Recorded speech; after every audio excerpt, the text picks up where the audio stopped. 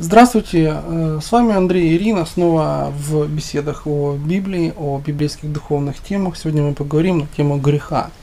Что такое грех и когда мы грешим, и есть ли какое-то лекарство или средство от греха. Мы все знакомы с историей о первом грехопадении. Грехом было нарушение заповеди Божьей, а не вкушение от древа познания добра и зла. Как мы знаем, этот, этот грех был вследствие нарушения Божьих заповедей, поэтому нарушение заповедей Божьих по сути является грехом. Писание также определяет грех как заступ за черту дозволенного. То есть человек заступил за определенную черту разумного, за определенную черту дозволенного. Но, э, наверное, э, неизвестно для многих и другие определения греха. Одно из определений греха – это от слова авон на, на иврите. Слово авон на иврите значит грех, который подразумевает искажение реальной действительности. Когда человек передергивает факты, искажает что-то в своем мировоззрении, мировосприятии или в мировосприятии других людей, он лжет либо себе самому, либо другим. Ну, мы знаем эту заповедь, которая гласит «не лжесвидетельствуя» она, как ни странно, покрывает и тот уровень мировосприятия, который называется передергиванием или же искажением. Люди, живущие в иллюзии или уходящие в иллюзию, отрешающиеся от мира сего, практикующие то, что называется явлением эскепицизма, ухода от реальной действительности, посредством э, практики какой-то музыки, просмотра определенного рода фильмов, или же принятия определенного рода веществ или средств, вспомогательных, запретных или менее запретных, э, практикуют данный вид греха. С другой стороны, в греческом языке слово грех является синонимом слова попасть мимо, то есть э, не достичь цели. Другими словами, любое действие, любое намерение, любое желание, которое не достигает цели Божьих ожиданий, и того замысла, который Бог имеет относительно нашей жизни, является грехом.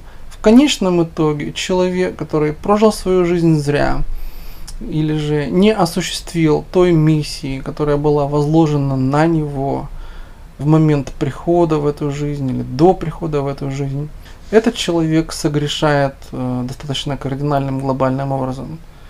В Писании есть описание разговора Господа Бога с пророком Иеремией – Иеремия был молодой человек, и Бог его призывает на пост служителя в качестве пророка. Ему была дана большая задача, настолько большая, что Иеремия стал сомневаться, сможет ли он осуществить это призвание. На что Бог отвечает ему, до того, как ты был рожден, еще в утробе матерней, я познал тебя. Мы отсюда можем делать вывод – достаточно далеко идущий, что каждому человеку до рождения в этот мир дана какая-то цель, дана какая-то миссия. Также мы видим в Новом Завете описание ситуации э, с Господом Богом Иисусом Христом, в которой слепорожденный человек был исцелен, и на этом была явлена сила мессианства Сына Божьего Иисуса Христа. И задали вопрос ученики, кто согрешил, этот человек или его отец или мать, что он был рожден слепо, э, слепорожденным. И Господь сказал, ни он, ни отец и ни мать его не согрешили, но был он рожден в этот мир с целью явить дела Божьи, явить славу Божью. Многие люди скептически подходят к этому отрывку из Евангелия, говорят, что же это за Бог такой, который являет славу своих на тех, кто рожден увечно в этот мир. На самом деле, как оказалось, каждый человек рождается с этой, с подобной миссией, с такой миссией явить славу или открыть другим людям свет познания о Боге в этот мир, поскольку Бог действует через людей. Но в этом случае конкретном человек получил исцеление и прославил Бога тем, что познал Его и явил славу дел Его другим людям. Мы понимаем, что этот человек родился, конечно же, в этот мир не потому, что Бог хотел сделать его вечным, а скорее всего, ну, на мой взгляд, субъективный, этому человеку была дана возможность выбрать ту или иную миссию или тот или иной способ явления этой миссии в этот мир. И, как мы знаем, Бог есть любовь, никому не навязывает ничего. Мы понимаем, что грех таким образом является непослушанием, нарушением определенных стандартов устоев Божьих, его устоев святости. Написано в Слове Божьем, все согрешили, все лишены славы Божьей. Каждый человек, рожденный на эту землю, является грешником. Что с этим делать? Но Бог всех, абсолютно людей, всех, как говорит нам апостол Павел в послании римлянам, заключил в непослушание для того, чтобы всех помиловать. Единственное требование Бога относительно людей и их сознания своей греховности в том, чтобы они ее сознавали и с этим грузом, с этим бременем ощущения себя греховным, недостойным, шли к Богу для прощения. Это называется в Писании покаянием, то есть обращением. Человек отвращается в результате сознания своей греховности от своих грехов по направлению к Богу и просит о помиловании, просит о прощении – Такому человеку дается прощение во имя Сына Божия Иисуса Христа, который, как мы знаем, утверждал, что имеет власть прощать грехи.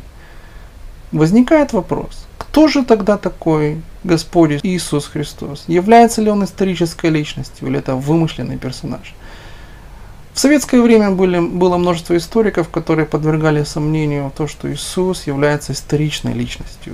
Э, о нем говорили, что это собирательный образ – что это человек, который придуман.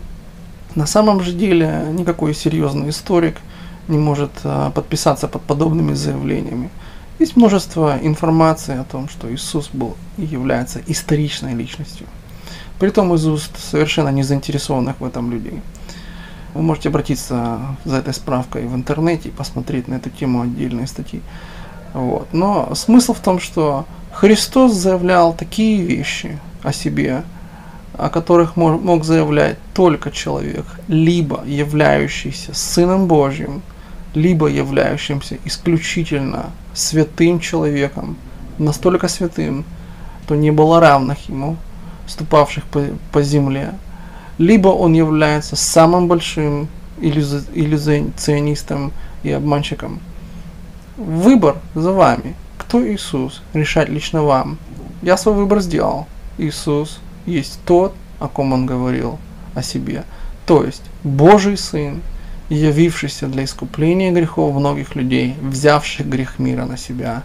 То есть Агнец Божий, закланный от основ мироздания. Итак, что же нам делать с грехом? И что такое грех? Мы с вами поняли.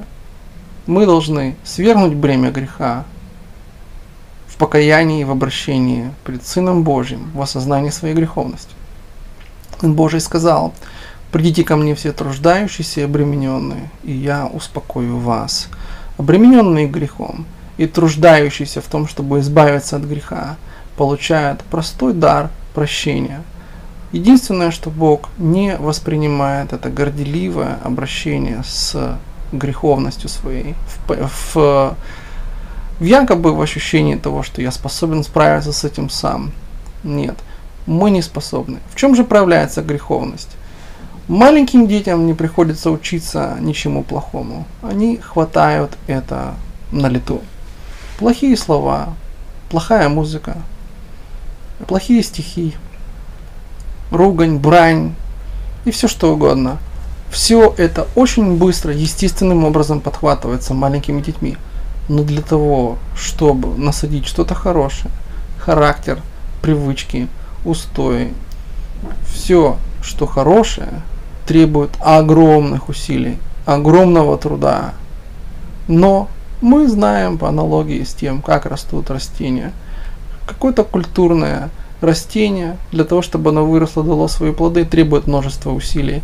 Для того, чтобы вырос бурьян, сорняк, абсолютно ничего не надо. Также обстоит и с греховной природой. Наша человеческая сущность требует постоянной прополки постоянного полива, постоянного удобрения и работы, работы и работы над собой. Именно поэтому греховному Адаму было сказано, в поте лица будешь добывать хлеб свой. Хлеб, конечно, это то Слово Божье живое, которое является в нашу жизнь и которое сдвигает горы. Как сказал Господь Бог, не хлебом единым же человек будет, но всяким словом, исходящим из уст Божьих. Это цитировал Иисус Христос, Второзаконие из Пятикнижия Моисеева. Теперь мы перейдем к части вопросы и ответы на заданную тему. Спасибо за внимание. Вы говорите, что Бог позволил человеку грешить с тем, чтобы в свое время человек приходил к Богу и каялся в своих грехах. Таким образом, Бог проявляет власть над человеком. Также вы говорите, что человек создан по образу и подобию Божьему. человек точно так же начинает использовать свою власть над другим человеком – в Писании написано явно, что прощение грехов может практиковать и осуществлять только Бог. Мы помним однажды, что Господа Иисуса Христа со страниц Евангелия обвинили в том, что Он богохульствует. Это имело место тогда, когда Он простил грехи. Он очень красиво ответил на этот вопрос, что содержится на страницах Писания, куда я обращаю наших слушателей – но имеет ли право кто-то выступать из грешных людей, которым самому нужны прощение грехов и искупления, обращаясь к другим людям, практиковать как посланец Божий прощение грехов? Нет, это называется кощунством и то, что названо в Писании богохульством. Никто, никакой служитель, основываясь на Писании, не может отпускать грехи, не может выписывать индульгенции. Мы знаем, что это практика церкви, любой другой церкви, не будем называть эти э, имена, эти конфессии, она противоречит Писанию. Она, возможно, преследует жажду наживы, возможно, преследует цель э, манипуляции, порабощения определенных людей, сознания. То есть все это заканчивается еще большим грехом. Ну, когда грех грехом погоняет, тут просто не о чем больше говорить. То есть для того, чтобы я получил прощение от Бога, мне необходимо идти к Богу. Я не должен искать прощения Божьего от лица Его служителей. Единственная ситуация, которую описывает Господь в Слове Своем, если я иду в храм явиться при лице Божье и несу с собой жертву, и при этом вспоминаю – что мой брат что-то имеет против меня, что я нахожусь в размолвке или в плохих отношениях с кем-то, кто имеет что-то против меня. Всевышний говорит, прежде примирись со своим ближним, со своим братом, а потом явись пред лице мое. Поскольку молитва такого человека не будет услышана. Есть две главные заповеди. Первая заповедь – возлюби Господа Бога всем сердцем своим, всем разумением, всем своим бытием, составом. И вторая заповедь – возлюби ближнего, как самого себя. В чем суть этих заповедей, какая из них большая? То есть две наибольших заповеди, но какая из них большая? Если мы говорим в плоскости отношений человек и Бог, конечно же, первая заповедь является главной. Но апостол Иоанн проливает свет на этот вопрос и говорит, если ты не любишь человека, брата своего ближнего, которого ты видишь, и отвращаешь от него сердце свое, закрываешь свое сердце, если он в нужде и просит у тебя помочь ему, и ты ему отказываешь, то как может в тебе пребывать любовь Божия, если ты говоришь, что ты любишь Бога, которого не видишь, а брата, которого видишь, оставляешь без любви? Таким образом, мы понимаем, что в отношении нас, находящихся на нижней ступеньке духовной лестницы восхождения к Всевышнему вверх, Вторая заповедь в практическом смысле слова является гораздо важнее первой. Бог говорит, оставь все свои пространные философствования, всю свою теологию и богословие, отложи ее в сторонку и пойди примирись со своим братом, ближним, соседом, кто на тебя имеет зуб, кого ты обидел, обделил. И только потом, примирившись, наладив отношения с окружающими людьми – ты можешь прийти и продолжить углубление в истины Божьи, в отношения с Богом или в изучение каких-то таинств богословия. Бог очень практичен, Бог очень прост. Когда человек э, мудрствует, мы называем это мудрствует лукаво, являя себя духовным, то Бог называет это личиной, при этом находясь в размолвке с окружающими тебя людьми. Да, вторая заповедь с точки зрения восхождения предлежит первой и является ступенькой восхождения к ней. Вы также говорите, что неисполнение своей миссии – это также грех. Как человеку разобраться, в чем его миссия? что должен он сделать в этой жизни, с чем он пришел. Зачастую человек умирает, так и не поняв, для чего он жил. В этом случае Писание и вообще любой человек э, должен быть, должен проникать в себя, он должен исследовать себя. В Библии есть одна очень интересная заповедь, которая, от которой веет – я бы сказал, таким духом восточных учений. Она звучит из уст апостола Павла в послании к сыну своему в вере Тимофею, который говорит, вникай в себя и в учение. Вникай в себя и в учение, то есть, образно говоря, медитируй. Человек должен практиковать медитацию над смыслом своей жизни. Что это значит? Он должен отходить от всех бы- бытовых дрязг, от суеты дней и подниматься над самим собой с целью увидеть себя с высоты птичьего полета. Человеку, ищущему, будут даны знаки от Всевышнего, дорожные знаки, по которым он поймет, что он движется в правильном направлении, в правильном направлении осуществления своей миссии. На самом деле – Человек может в своей жизни достичь множества вещей. Ну, например, покорить полмира, как Александр Великий. Или же человек может э, добиться э, богатства баснословного и купить множество материальных ценностей. Но в плане осуществления своей, своей духовной миссии или своего предназначения на этой земле он не сдвинется ни на микрон, ни на долю миллиметра. И это значит, что этот человек духовно нищ и беден. Нет, он банкрот. Об этом говорится в Писании. Поэтому написано, последние будут первыми, а первые будут последними. Чем мы должны руководствоваться в достижении своей цели и своей миссии? У каждого она уникальная. Бог не требует от человека выходца, скажем, из сельской местности, простолюдина, без высшего образования – без знания языков или знания писания или умения читать и писать не требует никаких сверхъестественных там миссий или задач. В этом случае от человека требуются те вещи, которые относительно, относительно его же уровня.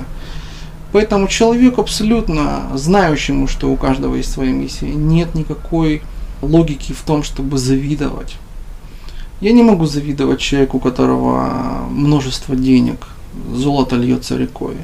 Почему? Потому что, возможно, в выполнении своей миссии он свою жизнь земную так и не начал. В этом скрыто для нас большое утешение. И в этом суть практической веры. Ведь все ценности, которые мы имеем в своей жизни земной, они очень относительны. Относительно чего? конечно же, продвижения и успеха в выполнении своего предназначения. Хоть это и громко звучит, но это правда. Если вы сейчас чувствуете внутри себя голос, да, это так, то вы ощущаете то, о чем я говорю. По сути, нет никакого смысла сравнивать себя с другими, равняться на кого-то еще. Потому что успех – понятие относительное. И иногда люди, достигающие успеха, понимают, что они находятся у разбитого корыта. Ни с чем. Так ничего и не сделав. И однажды к Александр Великий пришел к Диогену и заявил о своем намерении покорить весь мир – и Диоген сказал ему, что ты глупец. И он рассмеялся ему. Сказал, что никто не покорял весь мир, и никто не сможет покорить весь мир. Диоген э, дал небольшую лекцию Александру Великому, но Александр сказал, что у меня нет времени, и я покорю весь мир и приду к тебе для разговора.